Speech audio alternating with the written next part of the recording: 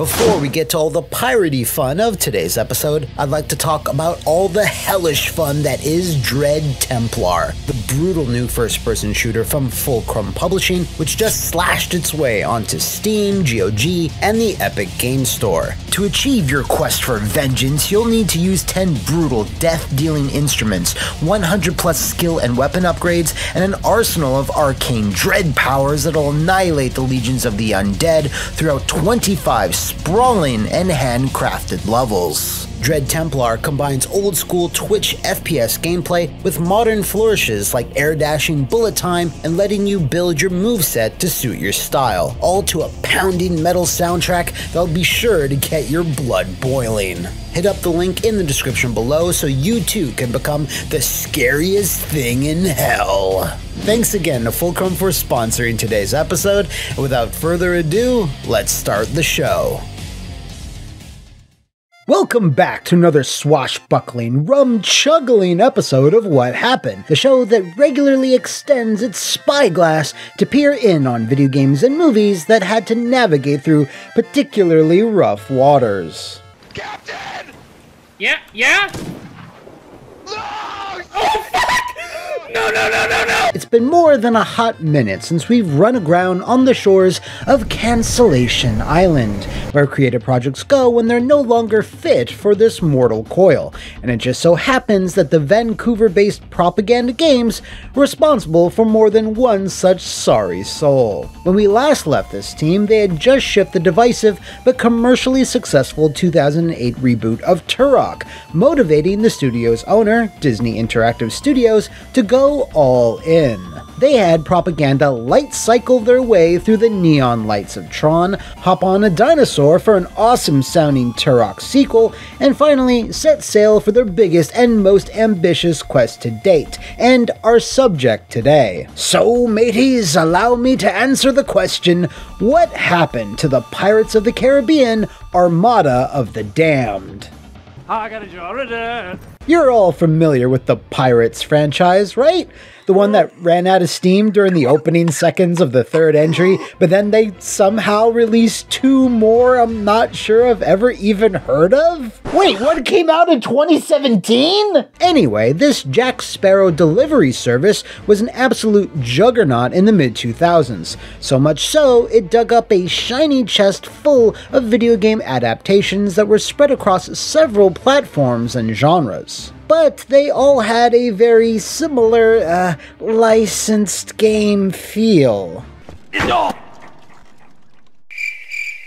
So, Propaganda Games and Disney want to change people's perception of what a Pirates game could be, with a big budget open world action RPG that would hopefully stand tall as more than just a movie game. By diving into the unexplored depths of the universe and to do so with as much passion, time, and money as they could realistically afford.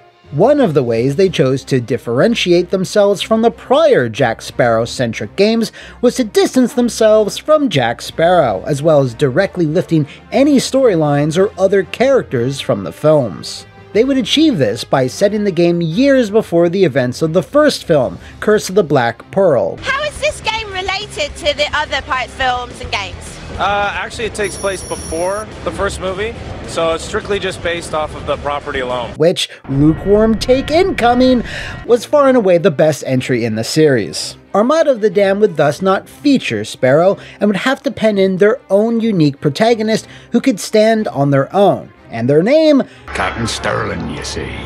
ah, fine pirate name indeed. The events of the game would have seen this rookie captain perish at the outset and returning to life via ocean based supernatural gobbledygook. Whereupon he would set sail once more to become either a legendary pirate paragon or a dreaded ghost of the seas, through various choices, encounters, and relationships along the way. If any of this sounds similar to, say, oh, I don't know, Mass Effect, that's because it was.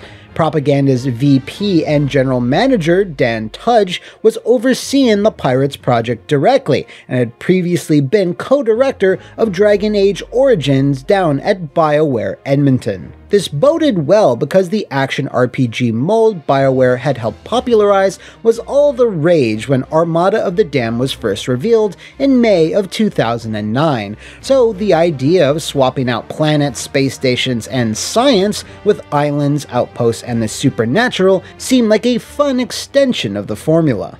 The reveal already had fans buzzing about Armada's potential, a vast expanse of the Caribbean to plunder and explore years ahead of similar journeys Ubisoft would eventually embark on their own. But, as we'll see, Propaganda's promising pirate party barge was gonna have to batten the hatches to survive the choppy waters ahead. I was very fortunate to speak with Chris Bourassa, who served on this pirate ship as a senior concept artist and later as an associate art director, and who was open to discussing his experiences working on Armada for today's episode. Looking back at its four plus year long development, he felt it had some structural issues well ahead of its reveal. I think we lost a lot of time early in development due to an unclear vision for the game. There was a great deal of internal reticence to commit to a design direction for fear of excluding a set of features or mechanics that someone, somewhere at Disney, might really want. Despite robust ship combat, melee combat, quests, loot, and a decent story, the game suffered from a lack of mechanical identity, and too many cycles were wasted in pursuit of things that ultimately did not find a home on the project. I think the team would have benefited from stronger, more decisive leadership in the formative stages of the project. According to Chris, while propaganda was trying to suss out this early design phase, Disney management actually did stay out of their way and let them cook, for the first few years at least. He remembers that this slowly changed over time, and even though the project was greenlit with a desire from Disney to steer away from the stories told in the films, eventually all original ideas were failing to gain traction, so that same leadership wanted them to steer back around to the familiar pirates' trappings. Chris also explained that there were some unrealistic expectations about what the team could realistically accomplish. There seemed to be an ephemeral expectation that we could produce a massive AAA game more quickly and less expensively than anyone had done before. For example, I was given a matter of weeks to design the main character, his backstory, and the variant versions of him that the player could upgrade into. I produced facial studies, costume exploration, upgrade tracks, and wrote slash illustrated slash directed two short animatics that explored the character's origins. I was proud of the work, but there was a heated meeting with internal studio management whose intense but vaguely articulated frustrations just boiled down to the unfinished character not looking as good as Drake's fortune. Fortunately, these growing pains lessened as time went on, and once the project had started to gear up, they made big strides across every area of the game. So, when it was ready to finally show at E3 2009, reception from game critics was very positive, with Games Radar exclaiming, The game has spectacularly preserved the spirit of the films, and they've done it without parasitically clinging to the moments you've already seen on the big screen. Game Informer also gushed by saying, We didn't go into our meeting for Pirates with great expectations, but came out pleasantly amazed at the potential of the game. Chris said to me that there was concern that nailing an open world at a certain level of graphical fidelity would be a real challenge. The game featured all sorts of ocean and ocean adjacent environments, chock full of the flora and fauna you'd expect. Consoles at the time had very limited memory to work with, and getting all those assets to stream in as necessary can be a nightmarish ordeal. Thankfully, the team were up to the challenge. In Chris's words, the technical talent at Propaganda was remarkable, so I never felt like we were in a position where we couldn't execute. Indeed, despite some early choppy performance, visually the game was quite the looker, with the waves realistically bouncing and heaving, among other things. So it's no surprise that journalists and fans alike were impressed with what propaganda were showing, as they were aiming for this to be an absolute stunner on every platform. And given that licensed games typically tended to, uh,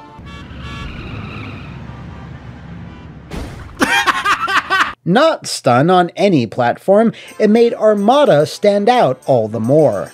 In addition to the graphics, it would have also allowed players to have been able to engage in full naval combat with various armaments, board enemy ships, explore islands, and go toe to toe with enemies in combo based fisticuffs, complete with special moves, finishers, and even pirate curses you could cast on your foes. You would have also been able to customize your Sterling visually with different sets of clothing and accessories, which would have been further altered by both the legendary and dreaded Moral Pass players could choose. Once you make that decision, you basically evolve visually and also uh, through your combat moves. On the marketing side, things were also seeming like they would line up quite nicely for the game. Chris told me that he felt it could have been completed in 10 more months, though he cautions even that could have been optimistic. Given that the game was cancelled in mid October of 2010, it would have meant that it could have launched sometime around August 2011, only a few months behind the fourth film, whose name I cannot and refuse to remember. Chris did not indicate to me, one way or another, that there was any real pressure for Armada to release around the new film, which, in my opinion, might have been due to the fact that the idea of the licensed game was starting to change. The industry was seeing success with licensed games that were not direct adaptations of the source material, with the Arkham games being the prime example, communicating to fans that actual time and care were being put into these existing IPs rather than assuring them they were going to be available on store shelves day and day seemed like the better choice, and the games were generally better off for it. This is one of the reasons why I think it's all the more unfortunate that Armada of the Damned would never manage this voyage to retail.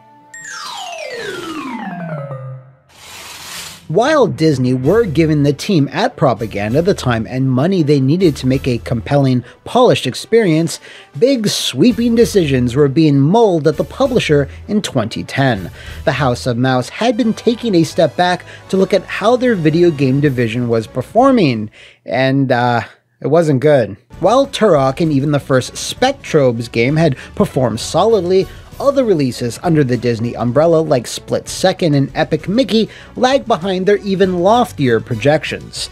Disney Interactive had been running at a steep deficit since the very beginning, and while the 2010 fiscal year was an improvement from 2009, they would still wind up reporting an operating loss of 234 million US dollars by the end of that year. Now, while 2013's Disney Infinity was internally poised to be their big financial home run, that was still a ways off, so it was decided they would need to scale back and reorganize their gaming efforts immediately. Owning and financing several dedicated AAA studios to produce expensive multi platform console games was deemed too expensive, ushering in the easiest part of the top level bureaucrat's job the cuts. While I wasn't able to cut everyone I wanted to, I have cut a lot of you. Propaganda had several teams working on multiple projects in addition to Armada, including the sequel to 2008's Turok and Tron Evolution. But out of all of them, Tron was the closest to the finish line, so it obviously made sense to keep that on schedule. Turok was still only just out of the concept phase, and as mentioned before, Chris estimated that wrapping up Armada could have taken 10 more months of development. So, while the game was playable, good looking, and fun, it was still a long way off, and Disney apparently felt that even if it had been released, it wouldn't have recouped its marketing costs or financing propaganda for almost another full year. So instead of getting his revenge on those that wronged him, James Sterling had a date with the unfeeling rope of the gallows. First time.